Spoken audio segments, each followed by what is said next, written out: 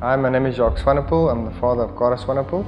Um, has got mixed cerebral palsy with dystonia. Um, we came to the UAE to get better facilities for Cara. Um, and we visited a couple of centers um, and I went to go and see how they look and what the facilities they have. And when we got here, um, the people were very friendly, they were knowledgeable about the therapies that they have. Um, Cara currently has speech therapy and CME and occupational therapy. And I must say the, the improvement that we've seen in her physical abilities and um, what she can and can't do before is amazing. Um, she's got uh, gotten a lot better in certain ways. Um, she's also improved in a lot of her sitting and physical ability that we are very happy with. And yeah, I don't think we could have gotten a better facility um, than what we currently have with Hope Centre.